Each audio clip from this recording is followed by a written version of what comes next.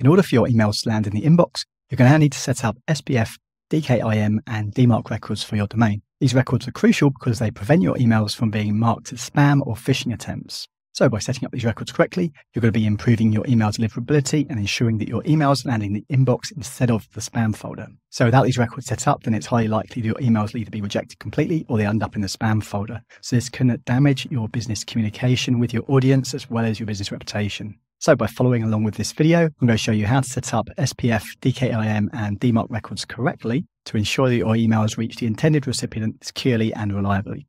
Now let's get started and ensure that your emails land where they should, which is in the inbox. So to start with, first log into wherever your domain name is registered. So the domain I'm going to be using today is in Namecheap, and it's this domain here, steve-west.co. So once you found your domain, click on Manage and then go to Advanced DNS. So this domain, I'm only going to be using it to send emails at the moment, so it's not actually associated with a website or a funnel. However, it's important to know that if the domain you want to use to send emails is already associated with a website, for example, it's a WordPress website or a Wix website, you'll only need to log into the hosting provider of that website and then navigate to the DNS settings within the hosting provider in order to set this up. So to give you an example, my website, entrepreneurnut.com, is a WordPress website and it's set up on WPX hosting. So because of that, now the email address I send from for entrepreneurnut.com is steve at entrepreneurnut.com. And it is also set up on Google Workspace. So for that particular domain, when I needed to set up SPF, DKIM, and DMARC, instead of logging into Namecheap where the domain is registered,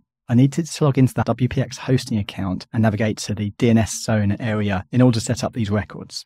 So just to make that clear, if you're setting up these records for a domain that's already set up with web hosting, then the next steps I'm going to show you set up the DNS records. You'll need to do it in the hosting provider where your website is hosted. Now that aside, for this particular email, like I said, there's no website associated with it. I'm only going to be using it to send emails. So this makes it much more simple and I can set it up directly in Namecheap. Apart from that, the steps are exactly the same. It's just the interface of whichever platform you're using, say if it's Namecheap or it's any other web hosting provider, is going to look a little bit different, but the steps are exactly the same.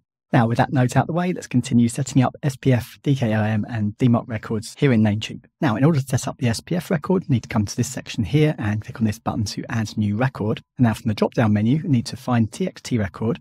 And then under the host, we need to enter the at symbol. And now for the value, we need to enter Google Workspace's SPF record, which can be found in this Google Help document here. So I've left a link to this document in the description below this video, so it's easy for you to find it. And you scroll down and this is the value you need to copy. Go back to Namecheap and paste it in where it says value and then click the green check mark to save your changes. Now, I'm only planning to send emails from this domain via Google Workspace Gmail. So if that's also the situation for you, then this SPF record is all you're going to need to add. However, if you do also plan to use third party autoresponder, for example, ActiveCampaign or Aweber or GetResponse, for example, with this domain that is also set up on Google Workspace, then in that case, you'll need to modify this SPF record here. Now, to show you an example of what I mean, again, the email address I use for entrepreneurnut.com, which is steve at entrepreneurnut.com, the email is set up on Google Workspace to send via Gmail, but I also use two other autoresponders to send marketing automations and I personally use at the moment Aweber and Systeme.io.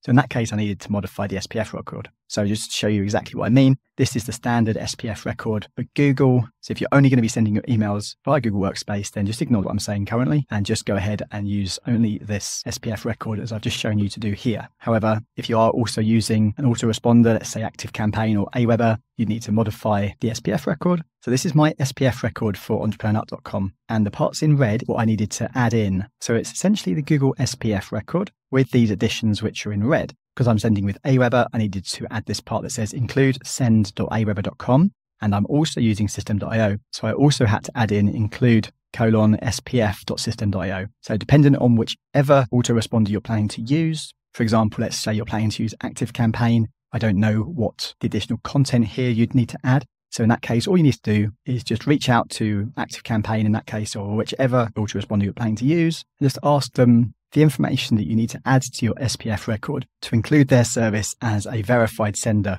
with your domain. Once you've got that information from them, you can modify your SPF record like I've done here, and then just update your record in your DNS settings. So pretty simple. Okay, so now your SPF record is set up. Next step is we're going to set up the DKIM record. So the DKIM record is very important because it adds a digital signature to your emails to ensure they haven't been tampered with. So in order to set this record up, we need to navigate over to the admin panel for our Google Workspace account to get the DKIM record. So an easy way to get to the admin panel is come to the Gmail account that's associated with your Google Workspace. Once you're logged in, come up to the dots in the top right hand corner and then scroll down until we find admin here.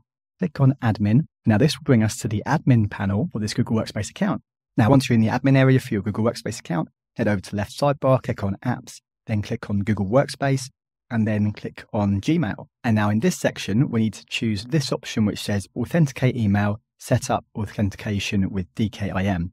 Click on the drop down. Then once you're in this section, make sure that your domain is actually showing here and then come down to this button that says generate new record and click on it. Now, just to note here, if you've only just set up your Google Workspace account and activated your Gmail account, you're going to need to wait between 24 and 72 hours before you'll be able to generate your DKIM record. So just be aware of that. And then in this section, Google's asking us what bit length we want for our DKIM record. And we've got two options, 1024 or 2048. So I recommend keeping it on 2048 because it's more secure and then leave the prefix as is and then click generate. And now Google's generated our DKIM record for us here. And there are two parts to it. First of all, there's the host name, which is here. And then here is the text value, the record.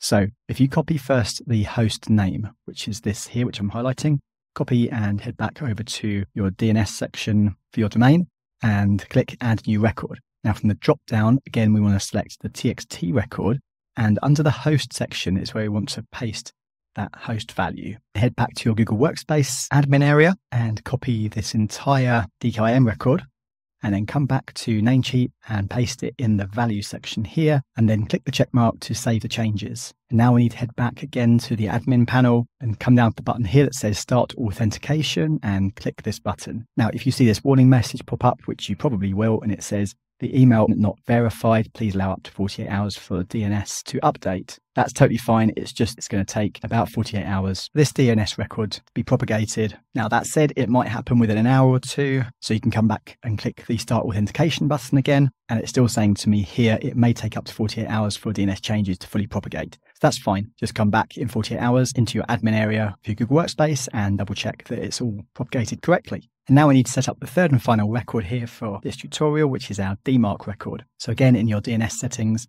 click on add new record and then from the drop down, we want to select TXT record again. And then under the host, we need to enter underscore DMARC. And then for the value, we need to enter this record here, except for at the end here where it says name at yourbusiness.com, we need to delete this and enter your email address. So in this particular case, my email address for this domain is steve at steve-west.co. Now, I've left this record in the description of this video, so it's easy you find it, just go and copy and paste it in. But then just please make sure you remember to change your email address here. Then click the check mark to save your changes. And there we are. You're all set up with SPF, DKIM, and DMARC records. And now what we want to do is run a quick check to make sure everything is set up correctly. Now there are a lot of tools you can use to do this, but I'm going to show you how to do it with this simple free tool from DMARCly. So I've also left a link to this page in the description below this video. And then once you're on this page, scroll down and first of all, we're going to check the SPF record. So click on SPF checker and enter in our domain name here click on check SPF record and here we can see everything is set up correctly for our SPF. Now hit the back button, come back to this page. Let's check the DKIM. Now for this one, we need to enter our domain name again and then for selector, we need to enter Google because we've set up the DKIM via Google Workspace. Click check DKIM record and everything is showing to be all good and hit the back button one more time and now let's check the DMARC and then again enter your domain name here and click check DMARC record and again we can see everything is set up correctly. So there you have it. That's how you can properly set up your SPF, DKIM and DMARC records for your domain with Google Workspace. Now, if you've got value out of this video, please consider subscribing to the channel and give the video a like and perhaps a share. It really helps my channel out a lot and I really appreciate it. Now, if you need to know how to set up additional email aliases for your domain in Google Workspace, then watch this video here. If you still need to know how to set up your business email with Google Workspace from scratch, then check out this video here.